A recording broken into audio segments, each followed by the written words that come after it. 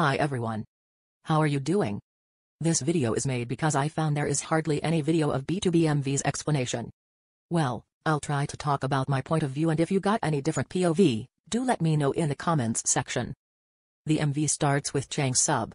A girl asks him to go out with him but he says no, but he looked out of the window to see her go. He waited for her on the roof, while dancing. Basically, all their scenes are taken from classic movies such as Kill Your Darlings, Romeo and Juliet, Trainspotting, Days of Being Wild. MV has shown separations, they want to tell us to express our love before it gets too late.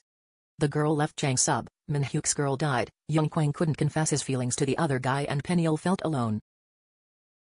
Looks like Minhyuk is considering suicide, MV has shown them getting a notes which can represent hope to survive, this led them to move on to a certain place where they meet up eventually to start a new journey together. You never know, know the life goes on 지금 온 세상에 pillow some gold. Love 소리 높은 노래 불러 더 크게 소리 질러 온 세상에 다 털어 show you love. And this last scene, many people have many theories like it can suggest new beginnings and that it can be from where Jidals or Cube's new boy group's MV will start. I think it is from where the concert of BTOB 4U will start. I think this is the door to that online concert, it has been scheduled on 23rd of January 2021.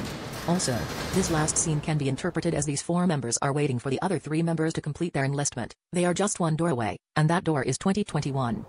By the way, did you hear Hyun Sik's voice shouting yeehaw? Yeah, we need each other.